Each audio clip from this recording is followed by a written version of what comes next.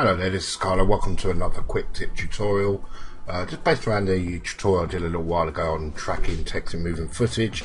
This time I'm going to show you guys how to track an object on moving footage. So um, I've just got simple composition here, very very short uh, piece of footage and what I'm going to do is I'm just going to play that back so you can basically just see it and what that will do is make our timeline green so we can make sure that's rendered um, and it's going to run smoothly as well whilst we do the track. So I'm trying to think of what sort of objects I can sort of place into this scene. Um, so we're just going to basically wing it.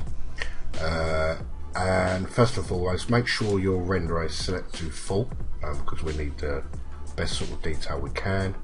And then I'm going to come up to animation um, and I'm going to use track motion um, here. And I want to basically pick the most vibrant part of this object here to track. Um, so I'm just going to have a quick look what we can sort of play around with. This bit looks good here, so I'm just going to get my track. I'm just going to place it over here. I'm going to come down here and select rotation and scale because this footage moves out. Um, I'm just going to bring this over, say, to this dark bit here. Uh, maybe move it out a bit. And what I'm going to do is I'm just going to analyze that forward and just make sure the tracks um, stay on point. Um, don't know what we're going to add to this footage, um, but we'll find something hopefully which will sit quite nice. Maybe we'll stick something on the top of the rocks there. Um, I'm not sure. But we will give it a go. So trying to do this in real time guys so you can see the best way to do it the more vibrant the point you place your uh, track points at, the better it's going to track and the smoother it's going to be. Um, and you won't get no sort of movement from these track points here going up and down and all over the place. So try and keep it either dark as you can or keep your points as light as you can. So let that finish in real time. Um, this is not the greatest quality clip ever, it's only a 720p um, piece of footage. Obviously, the higher the quality piece of footage you got, the better track you're going to get because it's going to enable the camera tracker to run a lot more smoother as well. But this seems to be uh, tracking okay. Cross me fingers, we won't get no movements from them track points. Uh, there is a way, obviously, you can, you know, if you, your track point goes out, you know you can stop it move the track point in it's just basically keyframing. That's all track points are doing is just adding a keyframe. So um, we can play around with that if it goes out of sync but it seems to be doing not too bad. As it goes I try and keep whatever I'm tracking on screen as well, make sure it don't go off screen. Um, it just it saves you a lot of hassle. Um, obviously, if you're cutting in between scenes as well, um, try and, for instance, if this is a scene here that you want to track, just this scene, just cut it um, from A to B, whatever it is, the length of the, this scene, and then add it into your uh, uh, film in post-production so it's all in sequence. So that's nearly done. This is very very simple process to use within After Effects so and it works very very nicely as well. So we are nearly done with that in real time. And hopefully crossing my fingers this is going to stay where it is as it moves this way and we are going to get no problems so we don't have to sort of play around with it. But like I say I mean 90% of the time guys if your points are on a nice piece of track if you've got a nice tracking point then like you've just seen there you're going to get no problems with it uh, tracking. So I'm going to go to edit and I'm going to make sure it's selected to select this. Click OK. To that and then sorry, I'm going to edit the target. Make sure that's alright now what I'm going to do is I'm just going to cancel that and create a new uh, null object which is here. And I want to edit target. Uh, make sure the null one selected. Click OK. And then just apply it. X and Y click OK. Okay so now what we've got is loads of keyframes with this track point here attached to it. So that will always sort of stay there. Now guys what we've got to figure out is what we want to add to this scene. So I'm just going to zoom back out here. And I may add something out of Element 3D so let's go to new uh, solid. Uh, let's make it comp size. Click OK. Uh, let's go to effects. Uh, let's go to video copilot. Let's go to element 3d and let's find something in element 3d we can add to our scene. We might even put a chopper on top of there. Let's see what we've got here. Let's go jet strike fun. Um, let's see what we've got here we can add on top of this. So something fun. Okay so let's get this bad boy here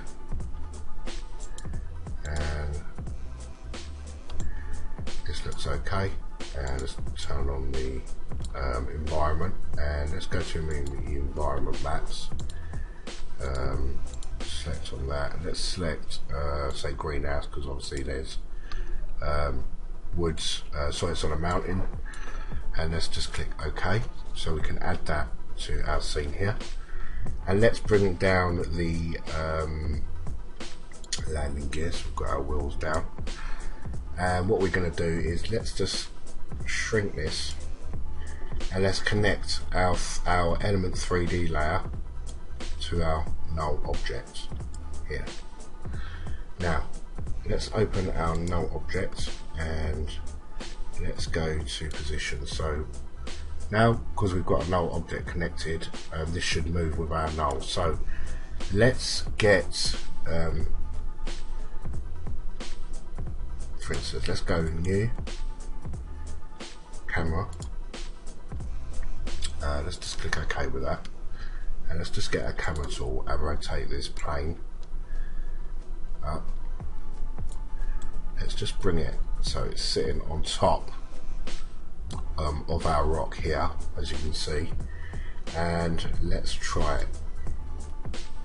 Okay so as you can see now um, our object's moving and it's um, attached to our null object. So our plane or our jet looks like it's actually just sitting on that rock. And because we added the rotation and the scale obviously we may have to fix that because you see the way that jerks like that that's not a problem we can fix that. Um, it looks pretty pretty cool. So as you can see our jet uh, basically is attached to that null object and it looks pretty pretty cool so now what we can do is we can color correct this obviously. If we go to effects let's go to uh, color correction. Let's go to CC curves um, and we can sort of play around with the look of our jet so it sort of matches our scene. So you can just make it a little bit brighter I suppose. And then what we can do we can go to our uh, jet strike layer uh, we can go to effects we can go to uh, color correction.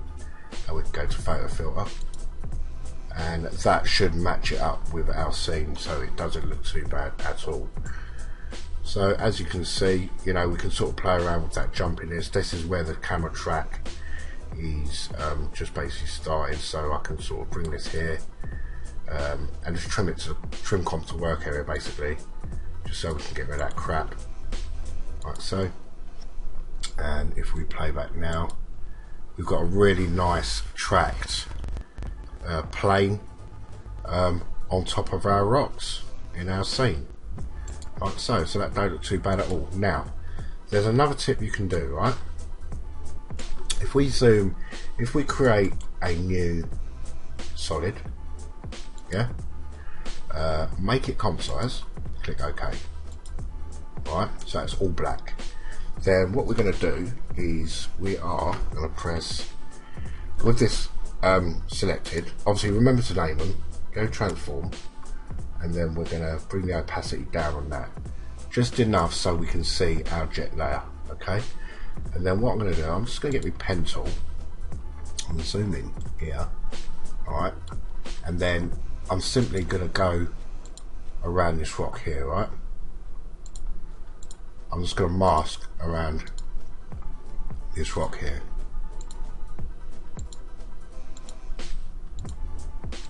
I'm not going to touch the plane, I'm going to go below the plane. Just around here like so. It's not going to be perfect guys, right. Bosh and I'm going to leave it like that yeah? But what we're going to do is we're going to bring our opacity back up so it's black yeah? And then we're going to close that and we're going to click on this and we're going to hit F on the cable and I'm just going to feather that out. Yeah? Just going to feather it out ever so slightly if we hide this now. Now what we've got is basically a really nice uh, little shadow um, that we've created of the plane. Um, you can sort of bring it a little bit down. It just gives it some depth. It just looks like there's shadows. There's a shadow underneath the plane but what you could also do is make that a little bit more vibrant and you could add another layer to that. So what you can do is if we close this if we close this and we create a new another new solid yeah and make that black as well yeah remember to title these because I'm titling them at the moment. So actually let's rename this wheel. There we go uh, sorry typing's terrible. Okay. So let's go wheels on that and then we're going to do the same. So we're going to open this up guys go transform and we're going to bring the opacity down touch and then simply what I'm going to do is I'm going to zoom right in alright? And I'm going to get me pencil and I'm just going to go around the wheel it's not going to affect this wheel because it's part of the black solid okay? Like that. So let's rename this wheel uh, one. Okay? Now bring opacity all the way up. So it's black. Make that 3d layer. Actually no let's turn that on. Turn off 3d layer. Right if you can't see the thing just hide that there like that. Like so and then let's just get the rotation of that wheel one and let's just bring this down here. Like so. Let's click out of it so we can see what we're doing.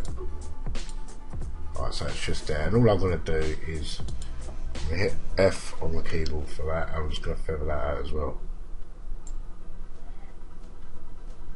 Not not not huge, not big, but it just gives you a nice little shadow um, of the back wall as well. It just adds a little bit more depth to your scene. Um, just makes it look a hell of a lot more smooth, a hell of a lot more better. So let's go back to the uh, first dark solid. Open that up. Um, bring that down. Let's go to because I never labelled them.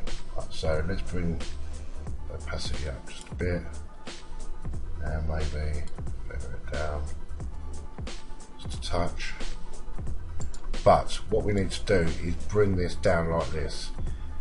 Like so feather it up. Let's do some more feathering hang on.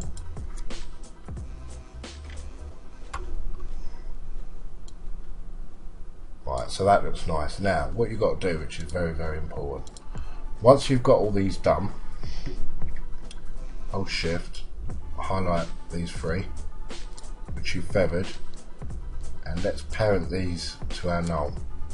Because remember, these are not attached, yeah? So if you don't attach them, when you move it, the shadow will move independently, independently, sorry, of itself, so it will look stupid. Yeah, because the, this one, this whole shadow scene will move by itself. But so whatever you attach to you, the effects of your plane, okay, you need to parent it to this null here so it moves basically uh, with the plane. But as you can see, you know, it's a question of just, um, you know, playing around with it, guys. Um, let's bring that past, oh, that's for our plane, what am I doing? Uh, let's go back to this. It's a question of just playing around with the, you know, the different looks of it. Um, just to get it, you know, looking uh, really nice but as you can see guys that doesn't look too bad at all um, it's just a question of you know grading it afterwards um, and going from there. Uh, what you could do, because there's a bit of movement, you can add a bit of uh, uh, motion blur to your uh, jet. So this is the jet here. We can click motion blur here, just add a bit of motion blur, and then make sure um, it's switched on. So when it moves, it just gives it a little bit more um, of a realistic sort of uh, look. So, um, I hope you found this tutorial interesting um, and I hope it's helped. Um, as always guys, remember to hit that like button and that subscribe button.